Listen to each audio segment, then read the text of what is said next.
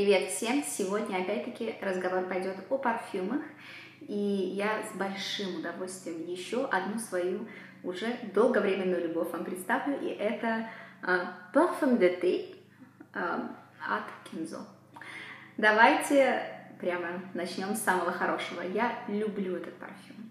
Uh, поэтому говорить о нем буду как о своем любимце, как о парфюме, который я давно ношу, давно покупаю, очень люблю и вообще считаю ландышевым счастьем своим. А, напоминает он мне о, о счастливых летних днях, и каждое лето без, эм, без э, пробелов я всегда достаю парфюм Бетри. И очень рада с вами поделиться, потому что хочу свою любовь передать через экран вам и рассказать об этом замечательном аромате, действительно замечательном аромате.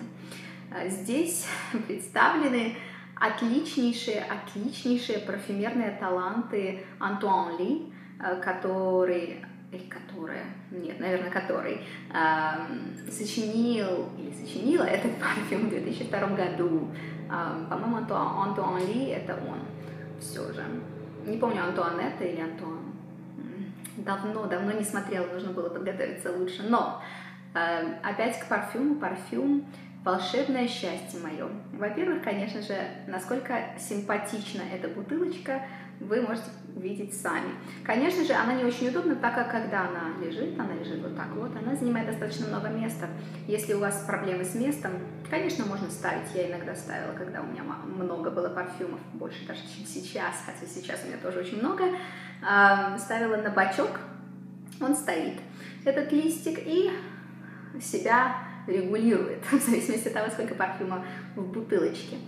А, в общем, бутылочка, по-моему, самая очаровательная и действительно очень хорошо представляет душу парфюма, а, прекрасно отражается а, эта душа в бутылочке. Бутылочка — это вот этот вот прекрасный чистый листик с названием, очень красивый и действительно хорошо держится в руке, очень приятен и очень оригинален. Здесь упаковка, вот знаете, я люблю очень простые не, не показушные упаковки, но дорогие и хорошего качества. У парфюмов, мне кажется, это тоже одна из них. Э, и, конечно же, зеленая шапочка, крышечка у этого парфюма и хороший спреер тоже.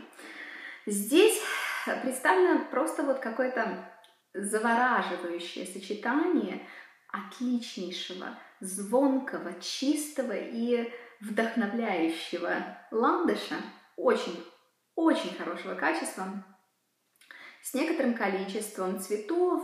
Там есть и жасмин, и пион, один из моих любимых добавлений в цветочных ароматах, и гиацинт, несколько других цветов. Замешано это все на очень чистой белой древесине, которая даже не проглядывает сквозь весь этот цветочный рай до самого-самого конца. Но я думаю, помогает с, с тем, как парфюм хорошо держится. Это de parfum, то есть э, не туалетная вода, а парфюмерная вода.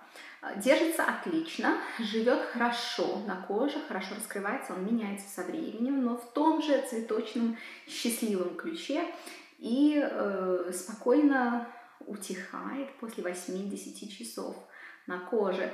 То есть прекрасно, прекрасно держится и э, звучит долго, звонко, ярко и красиво но не настолько ярко, чтобы где-то за метр до вас на расстоянии вытянутой руки э, серьезного запаха чувствоваться не будет. Он будет очень-очень легким. А, но парфюмерная вода, конечно же, дает о себе знать, потому что э, запах при нанесении достаточно э, густой.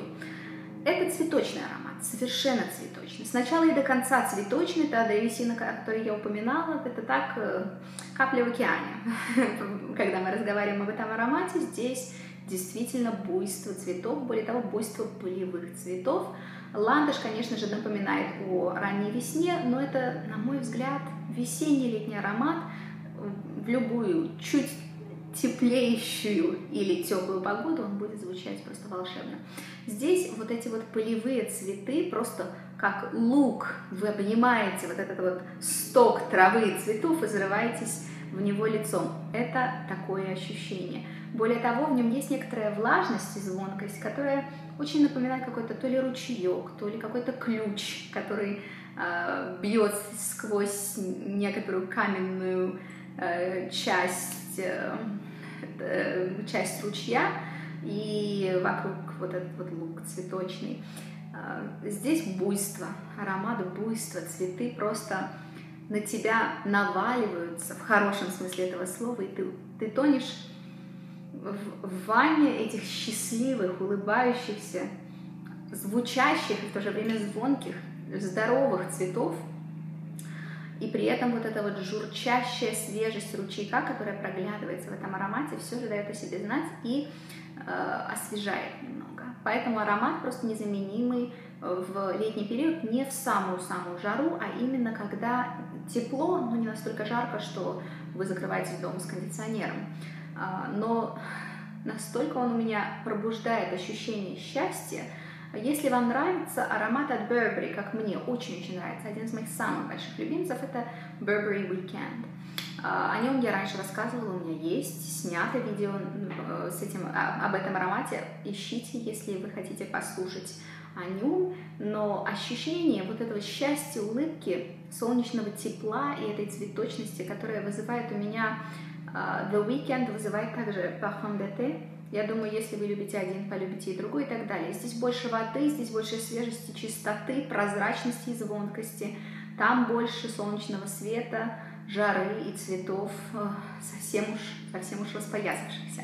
Но вот просто, если вам нравится, даже вы может быть, не любимый жанр цветочный, но если вы его перевариваете и вам, и вам он нравится, я бы советовала посмотреть на Parfum d'été.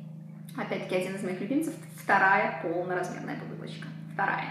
А, как вы знаете, у меня парфюмов вот под завязку, дофига, как говорится, и я просто так не буду рассказывать о том, что вот это мой любимец, и я очень вам советую. Если я не покупаю больше одного раза флакон, я никогда не скажу, что я так серьезно вам советую идти покупать. Это нет.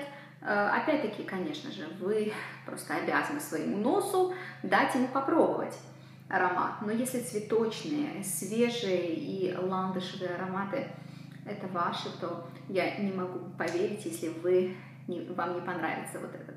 Поскольку он настолько чистый, поскольку он настолько аутентичный и такого хорошего качества, парфюм еще бы нужно поискать. Особенно в цветочных ароматах часто проглядывает некоторая э, пластиковость или замусоленность. А, и, и в большом количестве случаев они базируются на чем-то уж совсем сладковатым или приторным. Здесь нет, здесь приторности вообще нету ни на грамм. Именно этим он меня подкупает, и раз за разом я возвращаюсь к нему, он не надоедает. А, то есть надоест, может, любой парфюм, но этот в меньшей степени, чем другие. Очень-очень советую вам его понюхать, если вы хотите цветочности и ландышевости.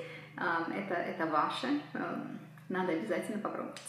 Это все на сегодня. Надеюсь, вам было интересно послушать по, про d'été один из моих самых любимых, а особенно в, цветочном, в цветочной категории, так вообще один из топовых в моей коллекции. Надеюсь, вам было интересно и всего хорошего. Пока!